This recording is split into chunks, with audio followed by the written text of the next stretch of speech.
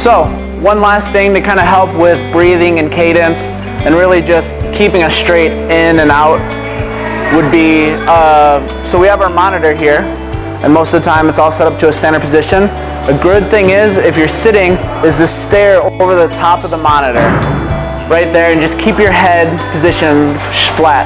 So that'll keep you from dipping at the front end as you get tired or leaning way back in the back and like sitting up.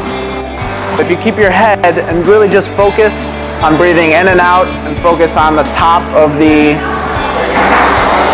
the monitor, that'll give you the best chance and really will make it subconscious about uh, pulling a straight in and out line.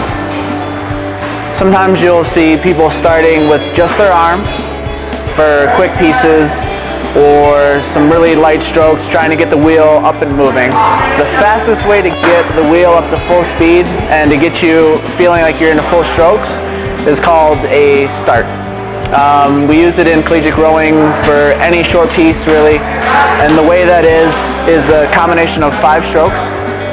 First you'll have your handle, you'll sit at three quarters stroke or three quarters so that's a little bit of leg bends, almost half drive, so you'll do one full stroke to the finish, then it'll be a half stroke, which is just arms and body. Then it'll be back to the starting position, which is three quarter slide, another stroke, and then you'll two lengthened strokes, which is just to extend it out to your full slide coming forward.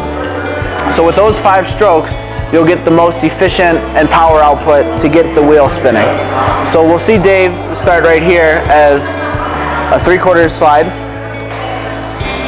and then a half, which is an arms and body, and then a little bit more, and then a lengthen stroke, and then another lengthen, and then you slow down and get into your rhythm.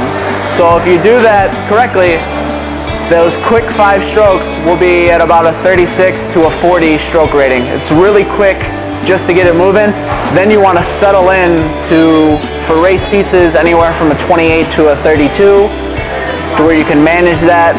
And then for longer pieces, say 2K, 5K, um, even a 10K, you want to be in the 22 to 26 strokes per minute rating so that you're able to have enough rest time coming forward uh, with your breath. Thanks, Cory.